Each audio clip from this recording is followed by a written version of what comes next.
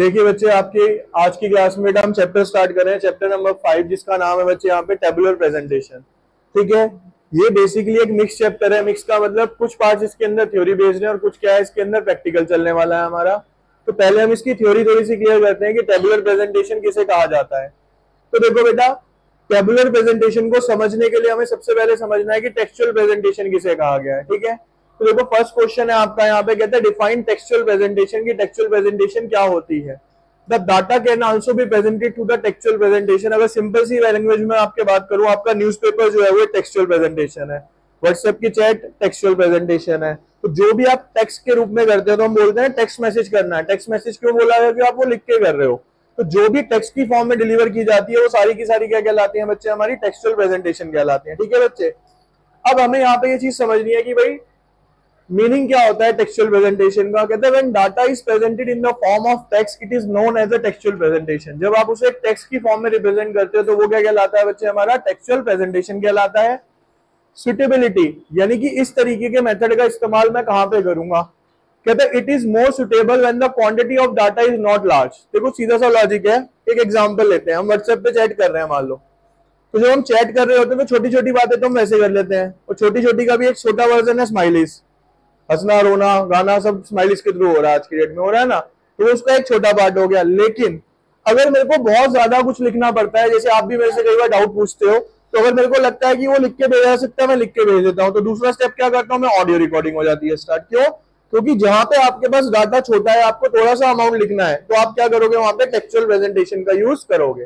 और जहाँ पे डाटा बहुत ज़्यादा हो जाएगा, वहाँ पे आप टेक्सचुअल का यूज़ नहीं करोगे, ठीक है?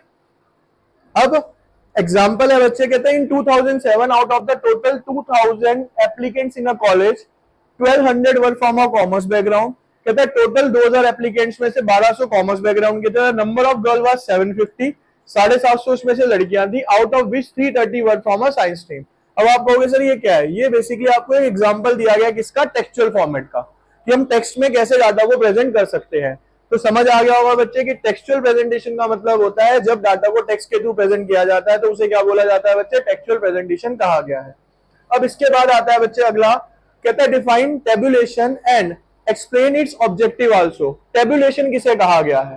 टेबुलेशन क्या होता है या फिर टेबल किसे कहा गया देखो बेटा, कहता है tabulation is a systematic presentation of numerical data in rows and column it is designed to simplify the presentation and facilitate analysis मतलब जब भी आप किसी डाटा को रोज और कॉलम के थ्रू भाई टेबल में दो ही चीज़ें होती है, या तो रो होता है या फिर उसका कॉलम होता है। रो और कॉलम के थ्रू उसको सामने वाले को समझाते हो सिंपल मैनर के अंदर तो वो क्या कहलाती है बच्चे, आपकी टेबुलेशन कहलाती है। अगर एग्ज़ाम्पल मैं आपका दूँ तो आपकी जो मार्कशीट होती है, वो मार्कशीट क्या है बेटा? एक बेस्ट एग्ज़ाम्पल है किसका? आपका एक टेबुलेशन का। क्योंकि आपकी मार्कशीट में भी कॉलम्स बने होते हैं रोज बने होते हैं, और आप उसको क्या कर रहे होते हो प्रेजेंट करते हैं, आपके मार्क्स को करते हैं। ठीक है? अब कहते हैं इसके ऑब्जेक्टिव्स क्या है? यानी कि हम जो टेबुलेशन करते हैं टेबुलेशन बनाने का रीजन क्या होता है? सबसे पहला है बच्चे यहाँ पे to simplify the complex data देखो, आज की डेट में ना एक सिंपल सा रूल है बच्चे। हमें ना दो तीन तरीके से चीज़ें ज़्यादा बेटर समझ आती हैं। क्या? अगर आपको आज की डेट में कह दिया जाए, देखो, सीधा सा लॉजिक है। अगर आप इमेजिन करके देखो, जो अभी आप यूट्यूब पे रिकॉर्डिंग्स देख रहे हो, उसके अंदर ऑडियो ना हो। सिर्फ़ ये क्या है टेक्स्ट चलता रहे। और आपको वो टेक्स्ट खुद से पढ़ना है। करोगे? हो ही नहीं पाएगा। हैक्टिक हो जाएगा, बहुत ज़्यादा पढ़ेगा कौन सबसे पहली बार यानी कि क्योंकि उसमें टेक्स्ट के साथ ऑडियो है तो मेरे को पता है कि टेक्स्ट को देख ही नहीं रहा। आधे तो हो सकता है ईयरफोन लगाया, सुन रहे हैं, बैठ के आराम से। क्यों? टेक्सचुअल प्रेजेंटेशन अगर बहुत ज़्यादा बड़ी है तो उसको रीड आउट करने में बिल्कुल भी मज़ा नहीं आता, या कह लो बहुत ज़्यादा हेक्टिक हो जाता है। लेकिन अगर उसी डाटा को मैं क्या करूँ बेटे? टेबल की फॉर्म में रिप्रेजेंट कर दूँ तो मेरे को देखते ही समझ आ जाएगा कि इस पूरे पैराग्राफ के अंदर क्या लिखा हुआ है। तो यानी कि कॉम्प्लेक्स डाटा को सिंप्लीफाई कर देती है क्या हमारी? टेबुलेशन तो लिखा हुआ कहते हैं tabulation aims to present the classified data in orderly manner the idea is to reduce the bulk of information under the investigation into a simplified and meaningful form यानी जो बहुत ज़्यादा बल्क ऑफ़ इंफॉर्मेशन है, उसको एक meaningful चीज़ के अंदर convert करके देना, इसका मेन मोटिव होता है। टू इकोनोमाइज स्पेस देखो बेटा, अब सिंपल सा लॉजिक है कि आपको एक टेक्स्ट बनाना है। तो टेक्स्ट के लिए आपको क्या करना पड़ेगा बेटा? बहुत ज़्यादा लिखना पड़ेगा उस डाटा के बारे में कि भाई 2021 में ये एग्ज़ाम हुआ था, उसके अंदर ये स्कोर आया था। और अगर मेरे को सिंपल ये लिखना है कि 2021 इको और यहाँ मार्क्स वो एक लाइन में कंप्लीट हो जाएगा। लेकिन आपको टेक्स्ट में ये बताना है कि 2021 के अंदर एग्ज़ाम हुआ था, उसमें इतने मार्क्स आए थे तो वो तीन चार लाइन ले लेगा। यानी कि जो आपकी टेक्सचुअल प्रेजेंटेशन होती है, बच्चे, वो क्या करती है? स्पेस ज़्यादा लेती है और टेबुलर प्रेजेंटेशन जो होती है, वो स्पेस क्या लेती है बेटा? काफ़ी कम लेती है। कहता है tabulation aims to save space by condensing the data in meaningful form without sacrificing the quality and quantity of data और ना तो हमारा कोई डाटा मिस होता है, उसके अंदर ना कोई क्वालिटी मिस होती है। यानी जो रिक्वायर्ड थी हमारे को चीज़ें, सारी उसके अंदर हम पढ़ सकते हैं। उसके बाद आता है बेटा टू फैसिलिटेट कंपेरिजन इसका बेस्ट पार्ट और एक क्या है बच्चे, कि हमें ना इससे कंपेरिजन करने में मदद मिलती है। देखो, अगर आपके पास दो अखबार है और उसके अंदर एक एक पैराग्राफ दिया हुआ है तो उन दोनों पैराग्राफ को आप अगर कंपेयर करोगे तो वो ज़्यादा इजी है या आपके पास सेम मान लो दो अखबार है, एक तरफ़ एक टेबल है, दूसरी तरफ़ दूसरी टेबल है। तो टेबल को कंपेयर करना इजी होगा। ऑब्वियसली बात है टेबल को कंपेयर करना क्या होगा बेटा? इजी होगा। तो यानी कंपेरिजन के काम में क्या आता है बेटा हमारा? टेबुलर प्रेजेंटेशन आता है। कहते हैं it also aims to facilitate quick comparison among various observation by presenting the data in a tabular form यानी अलग अलग तरीके के डाटा को हम क्या करते हैं बेटा? प्रेजेंट कर सकते हैं किसके अंदर? टेबुलेशन के अंदर। ठीक है? अब इसके बाद क्वेश्चन नंबर थर्ड आता है एक्सप्लेन द रिक्वेसाइट्स और essentials for a good table ये क्वेश्चन काफ़ी इंपॉर्टेंट भी रहा है बेटा एग्ज़ाम पॉइंट ऑफ़ व्यू से एक टाइम पे, ठीक है? इसमें से एमसीक्यू अभी भी आपसे पूछे जा सकते हैं। रिक्वेसाइट्स का मतलब होता है कि क्या क्या एजेंशियल चीज़ें हैं जो कि रिक्वायर्ड होती है जब हम एक अच्छा टेबल बनाए यानी टेबल को बनाते टाइम ड्रॉ करते टाइम हमें क्या क्या चीज़ें ध्यान में रखनी चाहिए। तो बेटा, सबसे पहले आता है टाइटल देखो टाइटल का मतलब होता है बेटा, जैसे आप सीरियल्स देखते हो तो सीरियल अब हमें पता है कॉमेडी नाइट विद कपिल से तो ऑब्वियसली बात है, ये कॉमेडी शो है। है ना भाई? अब आप कोई भी यूट्यूब पे कोई वीडियो देख रहे हो तो उसका थंबनेल देखते हो जो थंबनेल है वो क्या है? उसका टाइटल है। तो टाइटल देखते ही आपको समझ आ जाता है कि मेरे को इसको ओपन करना है या? है ना? तो टाइटल एक मेन रोल प्ले करता है, चाहे वो टेबल हो थंबनेल हो, कुछ भी हो टाइटल का मतलब है हेडिंग जिससे कि आप पहचान कर पाओगे कि ये टेबल बना किस चीज़ के लिए हमारा। ठीक है? तो कहते हैं there must be a little there must be a title on the top of the table the title must be every very appealing and attractive और टाइटल हमेशा क्या होना चाहिए बेटा? आपका अपीलिंग होना चाहिए। देखो, एक एग्ज़ाम्पल लेते हैं। यूट्यूब पे आप काफ़ी सारी वीडियोस देखते हो, ठीक है? कईयों के अंदर लिखा होता है भाई सिंपल सा लॉजिक होता है। उसमें जो चीज़ लिखी होती है, जब आप उसे ओपन करते हो, उसमें ऐसा कुछ भी नहीं मिलता। जैसे लिख देगा, बहुत सारे टैक्स के आते हैं यूट्यूब पे, एक करोड़ रुपए कैसे कमाए? आप बुझ जाते हो। उस एक करोड़ के चक्कर में पूरी बीस मिनट की वीडियो देख ली। पता चला इसमें तो दो रुपए भी नहीं कमाए गए। लेकिन उसने हेडिंग क्या डाल दी? अट्रैक्ट करने के लिए डाली है कि भाई ये बंदा पढ़ के इसके अंदर आएगा, देखेगा कि है क्या एक्चुअल के अंदर। है ना? तो बहुत सारे मिलते हैं ऐसे उसके अंदर। तो टाइटल हमेशा क्या होना चाहिए बेटा? आपका अपीलिंग होना चाहिए, जिसको देखते ही बंदा क्या हो अट्रैक्ट और उसको देखने की इच्छा हो।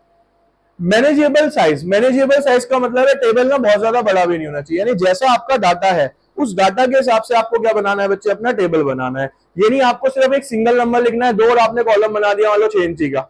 सेम जी का आपका कॉलम है, उसमें सिर्फ़ दो लिखना है तो वो कोई लॉजिकल सेंस नहीं क्रिएट करेगा। कहता है table should be neither too big not too small the size of the table should be according to its objective and the characteristics of the data it should fully cover important characteristics of the data उसके अंदर बेटा, जितने भी important characteristics हैं, वो सारे क्या होने चाहिए? कवर होने चाहिए।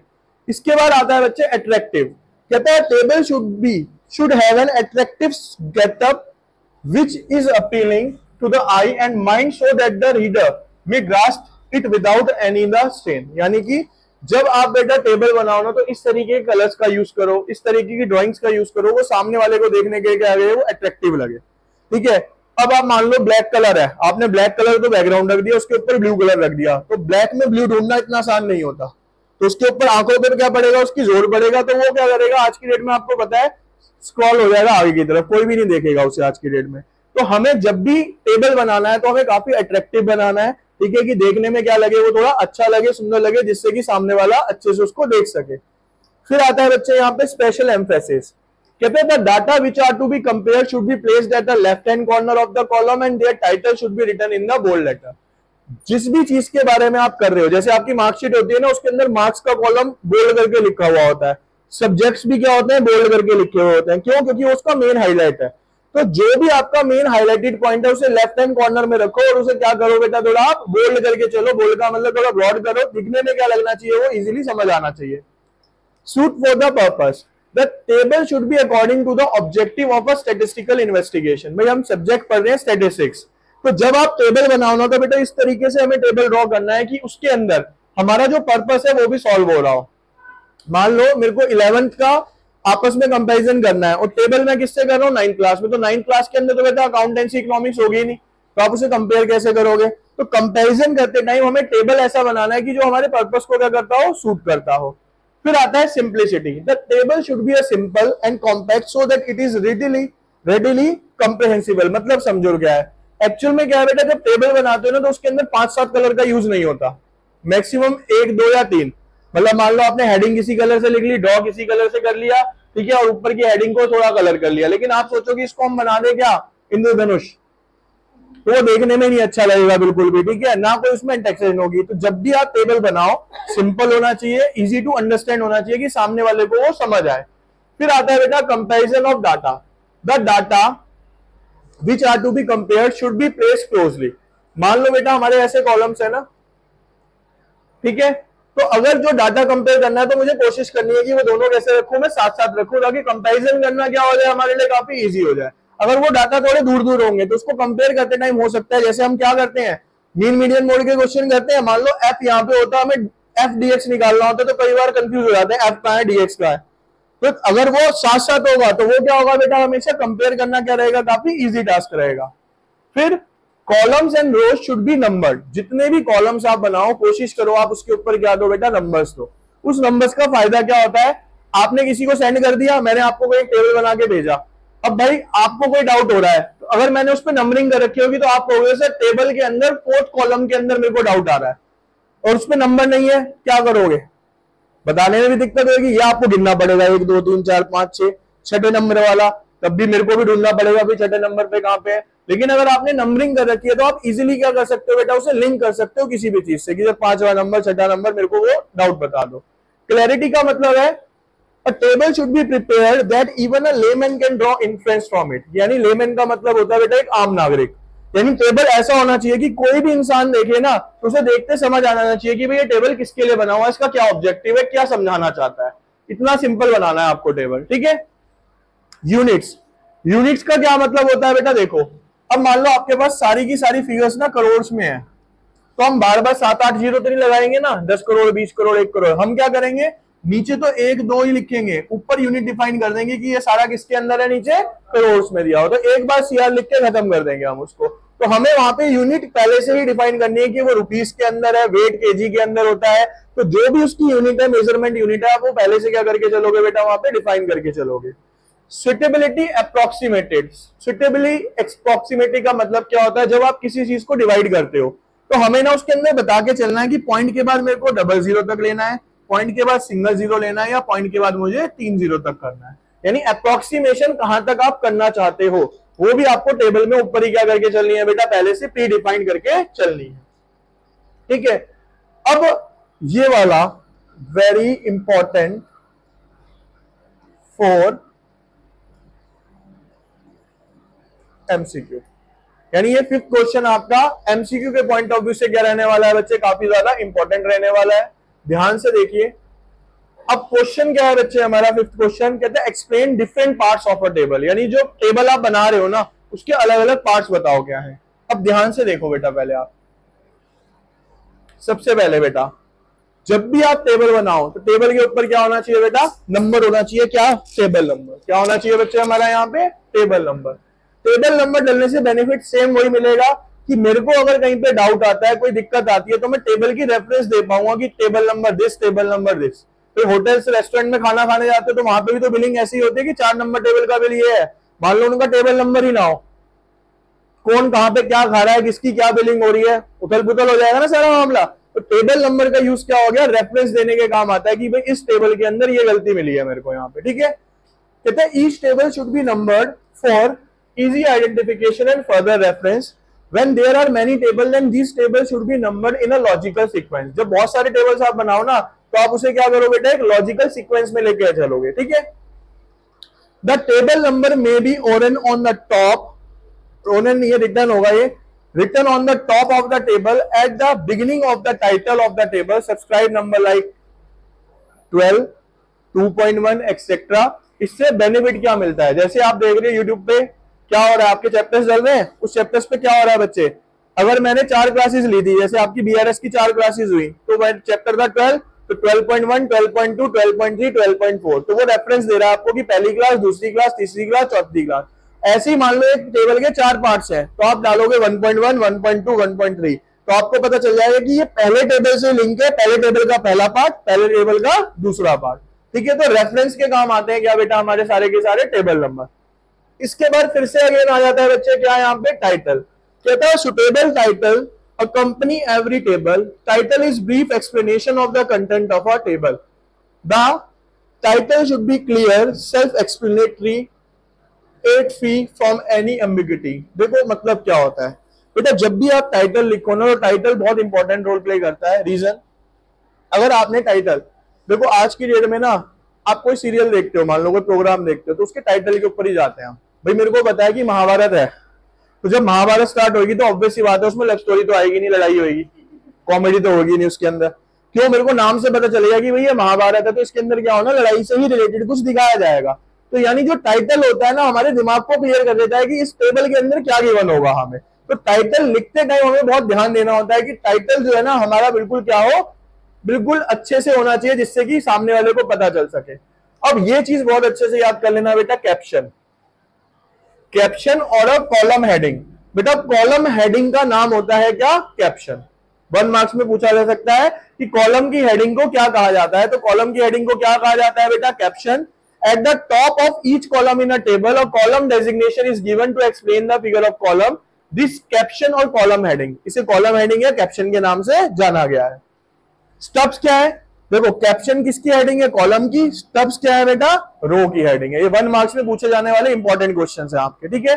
तो कहते हैं लाइक अ कैप्शन और a column heading each row of the table has to be given a heading तो रो की भी क्या होती है बेटा? एक हेडिंग होती है और उस हेडिंग को क्या बोला जाता है यहाँ पे? स्टब्स के नाम से जाना जाता है, ठीक है? इसके बाद, बेटा body of the table basically body of the table का मतलब यहाँ पे टेबल जिम तो जा नहीं रहा, जो बॉडी बना के बैठा होगा। बॉडी ऑफ़ द टेबल का मतलब है जिस एरिया में आप लिखते हो। यानी जो आपने टेबल ड्रॉ किया, ऊपर हेडिंग आ गई कॉलम आ गए रोज आ गए, बीच का एरिया जिसके अंदर आप क्या कर रहे हो बेटा? लिख रहे हो चीज़ों को अपने डाटा को प्रेजेंट कर रहे हो, वो क्या कहलाता है बच्चे हमारा? Body of a table unit of measurement का मतलब फिर से अगेन वही है कि बेटा, जो आप मेजर कर रहे हो केजी में है लीटर में है करोड़ में है सेंटीमीटर में है, जिस भी मेज़रमेंट यूनिट के अंदर है, वो यूनिट आपको पहले से क्या करके चलनी है बेटा? डिफाइन करके चलनी है। देर आफ्टर आता है बेटा हेड नोट हेड नोट क्या होता है ये समझते हैं. बेसिकली जब हम टाइटल लेते हैं ना बच्चे तो कई बार टाइटल हमें छोटा रखना होता है. टाइटल को आप बहुत बड़ा नहीं कर सकते. तो जब आप टाइटल देते हो तो टाइटल जब किसी चीज़ को एक्सप्लेन नहीं कर पाता. एग्ज़ाम्पल मैंने इंस्पायर कर दिया था. अब यहाँ पे नाम है इंस्पायर अकेडमी अब इंस्पायर अकेडमी कुछ भी हो सकती है. हो सकता है डांस सिखा रहे हो. हो सकता है सिंगिंग सिखा रहे हो. अकेडमी तो कुछ भी कर सकती है ना. इसीलिए उसके नीचे अलग से क्या लिखा हुआ है? Educated to lead inspire to achieve क्यों लिखा गया बेटा वो? वो डिफाइन करता है कि यहाँ पे किसका काम हो रहा है? एजुकेशन से रिलेटेड काम हो रहा है। जब टाइटल किसी चीज़ को एक्सप्लेन नहीं कर पाता तो हम उसके नीचे और एक सब हेडिंग लिखते हैं, उसको क्या बोला जाता है? एक तरीके से हेड नोट बोला जाता है। क्या बोला जाता है बच्चे उसको? हेड नोट बोला जाता है। देखो, लिखा भी होगा। In case the main title fails to convey complete information और head note is also given in a small bracket कहते हैं जब आपका जो मेन टाइटल है, वो आपका डिफाइन ना कर पाएगी किस चीज़ के लिए तो आप एक ब्रैकेट के अंदर क्या करोगे? अलग से हेड नोट लिख के दे दोगे, ठीक है? कहता है head note is inserted to convey all the relevant information about the data अब इसके बाद आता है बेटा सोर्स नोट बेटा इकोनॉमिक्स की बुक खोलना, अभी नहीं। उसके अंदर जितने भी आपको टेबल दिए होंगे ना, जितने भी टेबल है, आप उसके नीचे ये ज़रूर देखोगे सोर्स नोट सोर्स नोट का मतलब क्या होता है? कि इस टेबल के अंदर दी गई जानकारी कहाँ से मेरे पास आई है? मेरे को टाइम्स ऑफ़ इंडिया से मिली है, मेरे को आज तक से मिली है, किस सोर्स से मेरे को वो डाटा मिला है, वो डिफाइन होता है यहाँ पे कि ये डाटा एनसीआरटी ने दिया है, ये डाटा मेरे को सीबीएसई ने दिया है तो जहाँ का भी वो सोर्स होगा, वो डिफाइन होता है इस सोर्स नोट के अंदर। कहते हैं source note is given in case of a secondary data ये ज़्यादातर किसके अंदर दिया जाता है? जब हम कहीं और से डाटा लेते हैं। ठीक है? इसके बाद आता है बेटा foot note foot note basically मैं आपको बताऊँ क्या है बेटा? फुट नोट का मतलब होता है कंक्लूजन या फिर आपने कोई दे अलग से नोट देना है। ज़्यादातर देखते हो ये स्टार बने हुए होते हैं। बने होते हैं टेबल के नीचे। डॉट बन जाएगा स्टार बन जाएगा। यानी किसी अलग चीज़ को आप समझाना चाह रहे हो फुट नोट वहाँ पे दिया जाता है। अब याद करने का सिंपल सा तरीका हेड नोट सिर है तो ऊपर दिया जाएगा टाइटल के साथ। फुट कहा है? नीचे है तो फुट नोट कहाँ पे दिया जाएगा? टेबल के बिल्कुल आखिर में दिया जाता है। क्यों दिया जाता है? कहता है foot note are meant to clarify anything which is not clear from the heading title stubs and caption कोई भी ऐसी चीज़ जो मैं ऊपर नहीं समझा पाया या कुछ उसके अलग था, उसको समझाने के लिए मैं करता हूँ, एक फुटनोट डाल देता हूँ कि इसका मतलब ये था, इस कंक्लूजन का मतलब ये था, और कहाँ पे यूज़ हो सकता है। सॉरी मान लो हमने ऊपर कोई गलती कर दी। अब उस गलती को करने के लिए मेरे को टेबल को रब करना पड़ेगा। मैंने मान लो परमानेंट मार्कर से लिखा था पेन से लिखा था तो वो गलती हो गई ना। तो मैं क्या करूँगा, उस गलती को सर्कल करूँगा। नीचे फुटनोट बनाऊँगा। फुटनोट में एक स्टार लगा के लिख दूँगा कि ever mistake shore by this या फिर मैं लिख सकता हूँ कि थ्री की जगह यहाँ पे मुझे थर्टी लेना था थर्टी की जगह मुझे यहाँ पे थर्टी फाइव यानी जो भी आप ऊपर एक्सप्लेन नहीं कर पाए हो बच्चे, वो कहाँ पे एक्सप्लेन कर दोगे? आप अपने फुटनोट के अंदर एक्सप्लेन कर दोगे। ठीक है? अब जो जो चीज़ें हमने बताई, वो इस टेबल के अंदर देखते हैं। देखो बच्चे यहाँ। स्टार्टिंग से स्टार्ट करते हैं। सबसे पहले मैंने आपको बताया था कि टेबल बनाने के लिए चाहिए टेबल नंबर ठीक है? दूसरे नंबर पे बताया था आपको टाइटल टाइटल के बाद ये बताया गया था कि इन केस अगर टाइटल पूरे तरीके से टेबल को डिफाइन नहीं कर पा रहा तो उसके साथ क्या बना देंगे हम? एक हेड नोट दे देंगे। ठीक है? ये होते हैं बच्चे रो रो की हेडिंग को क्या बताया था? स्टब ये है कॉलम कॉलम की हेडिंग को क्या बताया था? ठीक है? बीच का ये जो एरिया है पूरा का पूरा, ये क्या थी बेटा? इसकी बॉडी जहाँ पे आप सारा का सारा डाटा लिखते हो। उसके बाद क्या आता है बच्चे, यहाँ पे सोर्स नोट यानी कि ये डाटा मेरे पास कहाँ से आया था? देर आफ्टर सबसे आखिर में क्या आता है बच्चे आपका फुट नोट यानी जो चीज़ आप टेबल में एक्सप्लेन नहीं कर पाए, रह गई है, उसको क्या करोगे आप? यहाँ पे एक्सप्लेन कर दोगे। ठीक है? अगला क्वेश्चन ये क्वेश्चन ऐसा है बेटा, जो सिर्फ़ आपने अभी सुनना है, आपको याद हो जाएगा हैंड टू हैंड आ सकता है, पूछा जा सकता है एग्ज़ाम के अंदर क्वेश्चन है explain different types of a table अलग अलग तरीके के कितने प्रकार के टेबल बनते हैं। ठीक है? वो टेबल्स आप यहाँ पे जरा ध्यान से देखेंगे, सिर्फ़ अभी याद हो जाएगा आपको, बस कंसंट्रेट यहाँ पे कीजिए।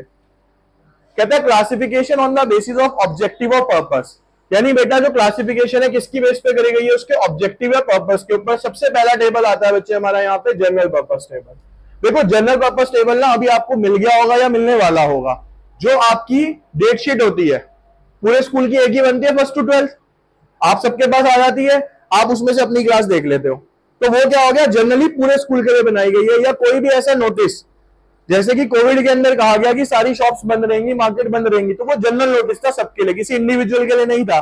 तो कोई भी ऐसी चीज़ जो जनरली सबके लिए निकाली जाती है बच्चे, वो क्या कहलाती है हमारी जनरल पर्पस टेबल कहलाएगा। क्या कहलाएगा वो जनरल पर्पस अब, कहता है general purpose table represent the raw data in a great detail and covers variety of information on the same subject it present the data without any special analytical purpose ये ना जैसे data आता है, उसको वैसे शो कर देता है, इसमें कोई चेंज नहीं किया जाता, ठीक है? स्पेशल पर्पस टेबल दूसरा कौन सा आया बेटा? इसका भी एग्जांपल समझो। जनरल पर्पस का एग्जांपल क्या दिया आपकी? डेट शीट स्पेशल पर्पस का मतलब हो गया आपकी मार्कशीट मार्कशीट तो सबकी कॉमन नहीं होती ना। आपके नाम की अलग बनेगी, सबके नाम की अलग बनेगी तो वो क्या हो गई आपकी? स्पेशल पर्पस टेबल जो इंडिविजुअली किसी के लिए बनाई गई है। तो देखो क्या लिखा है, कहते हैं these table provide information specific to a particular inquiry for example production figure of a company for a number of year एक कंपनी का मैं प्रोडक्शन फिगर दिखा रहा हूँ कि कितना कितना प्रोडक्शन उसने करा है। ठीक है? पहला कौन सा हो गया बेटा? ऑब्जेक्टिव की बेस पे। अब दूसरी क्लासिफिकेशन किसकी बेस पे है?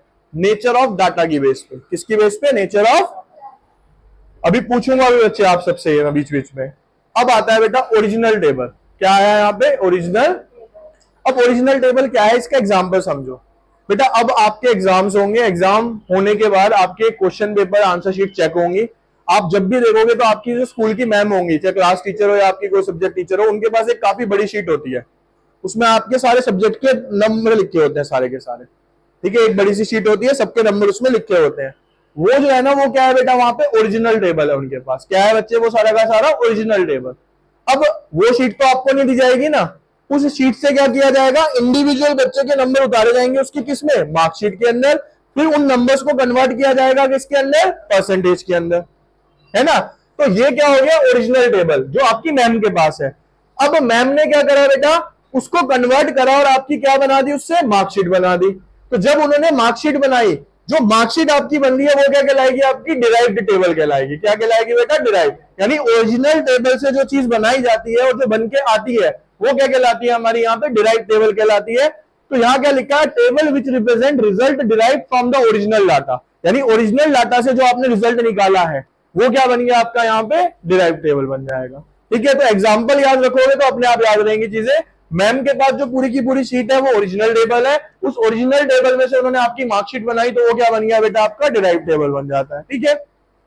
इसके बाद classification on the extent of coverage coverage की बेस पे कैसे क्लासिफाई किया गया बेटा? सबसे पहला है सिंपल सिंपल का मतलब है, मैंने यहाँ पे सिंपल क्या लिखा बच्चे section A number of student section A number of देखो कैसे क्लासिफाई करा ये रहा।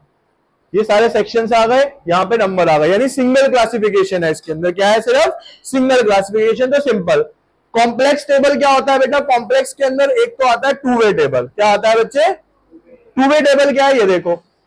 सेक्शन है। अब सेक्शन को मैंने आगे नंबर ऑफ़ स्टूडेंट्स को दो जगह डिवाइड कर दिया बॉयज़ और गर्ल्स में।